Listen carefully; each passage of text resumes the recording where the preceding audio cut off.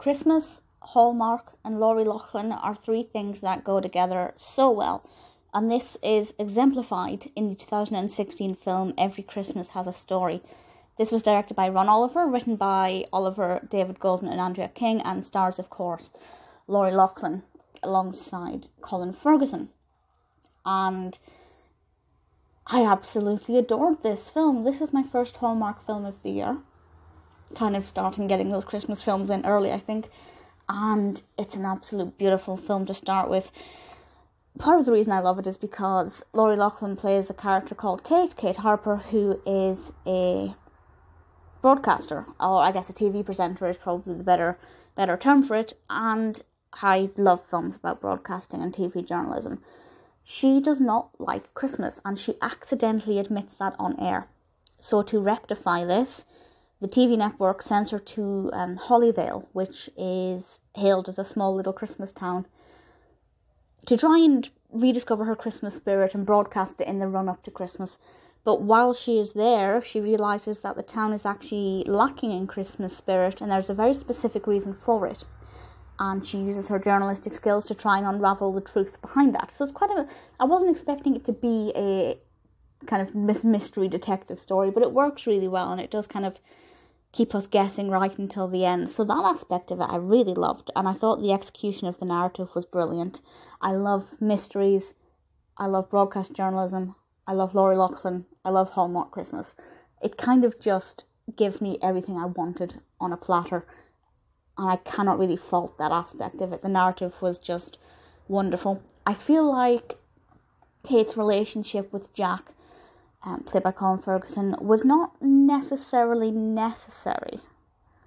I won't say any more than that, but I feel like it was just fluff. It was a bit of padding to maybe give the characters a bit more meaning, but actually, Kate's already quite a well developed character as it is. There are certain things that we find out about her as the narrative develops, and compared to a lot of Hallmark characters, she actually has a lot of depth to her.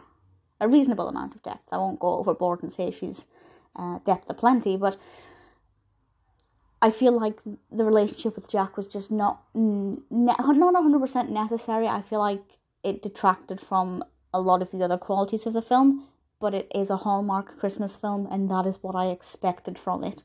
So I wasn't really disappointed with it. I kind of knew it would be there, but just from a, a critical and analytical perspective, I feel like it was unnecessary padding.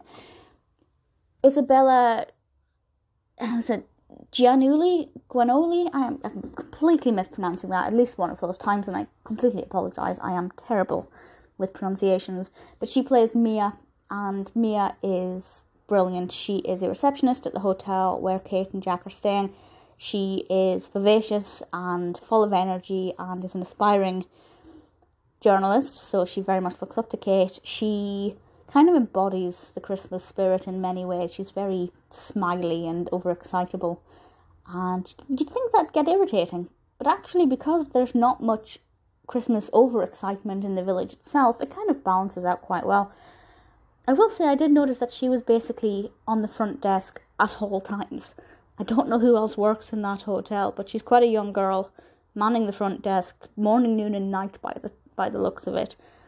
So that was a bit peculiar, but it does have the Christmas spirit. In terms of the soundtrack, there aren't that many Christmas songs in it.